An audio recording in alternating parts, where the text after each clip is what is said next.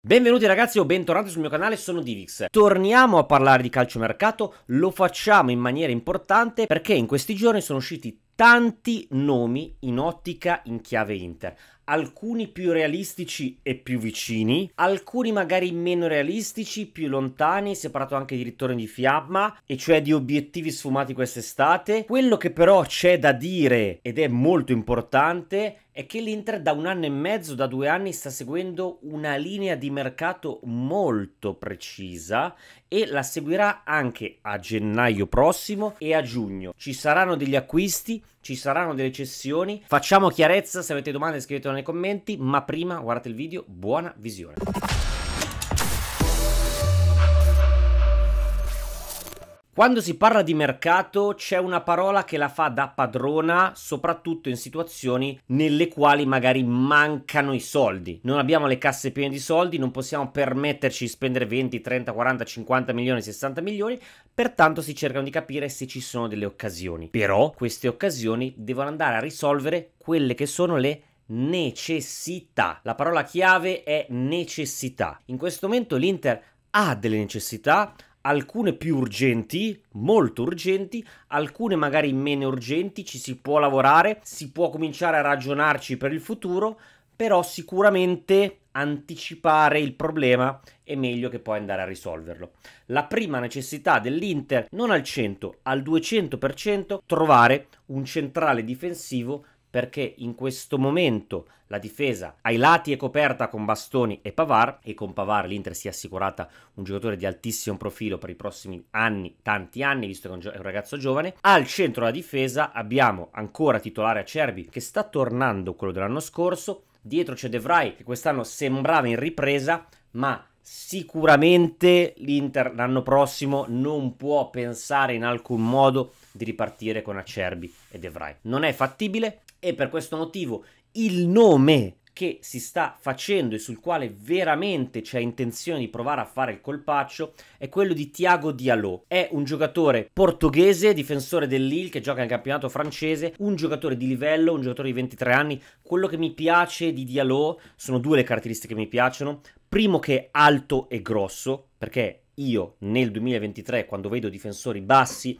ancora impazzisco, credo che comunque sia sul lungo periodo non riescano a mantenere un livello di rendimento costante, poi vengono sempre additati perché prendono gol, perché vengono sovrastati dagli attaccanti, mi vengono in mente due nomi su tutti, il primo Lisandro Martinez del Manchester United, il secondo è Koundé che addirittura è finito a giocare terzino al Barcellona, giocatori pagati tantissimi soldi che hanno fatto bene ma non quanto ci si aspettava. Tiago Diallo è 1,90, è un giocatore fisico ma ha una particolarità che secondo me lo rende molto interessante, quella di essere anche un giocatore bravo e veloce, soprattutto che sa difendere in campo aperto. Per una squadra come l'Inter, che gioca alta tante volte, soprattutto contro le squadre piccole, è importante avere un difensore che sappia coprire il campo. Mi piacerebbe vederlo in nerazzurro tantissimo, soprattutto perché prendere un giocatore di questo livello a zero sarebbe secondo me un grandissimo colpo e non voglio dirvi che pareggerebbe il fatto di aver, di aver perso Skriniar, ma sicuramente ci toglierebbe un pochino di quell'amaro in bocca e ci garantirebbe comunque sia di dormire sogni tranquilli l'anno prossimo perché comunque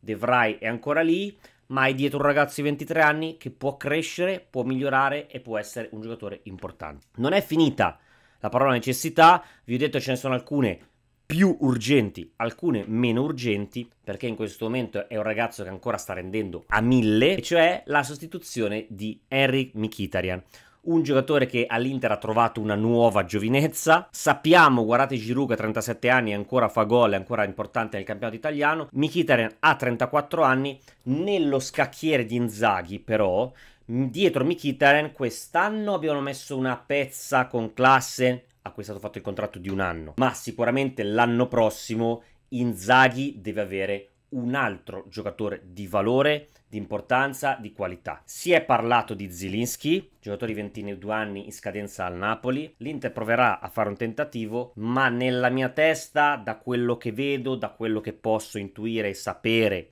senza andarvi a dire fonti mica fonti perché non mi interessa, mi fa ridere questa roba, lui vorrebbe rimanere a Napoli e sogna di ricevere un rinnovo di contratto come si merita. Ha rifiutato quest'estate l'Arabia Saudita, quindi sicuramente non sta inseguendo i soldi, potrebbe essere un progetto sportivo importante quello dell'Inter, vedremo cosa farà. L'altro nome che è tornato in auge è quello di Samarzic. Ieri e l'altro ieri più di uno di voi mi ha scritto ma cosa ne pensi, è fattibile, non è fattibile? Io credo che lui sia un nome più lontano, ma non lo escludo al 100% perché quest'estate sono stati fatti degli errori, più che il suo entourage da parte di suo padre.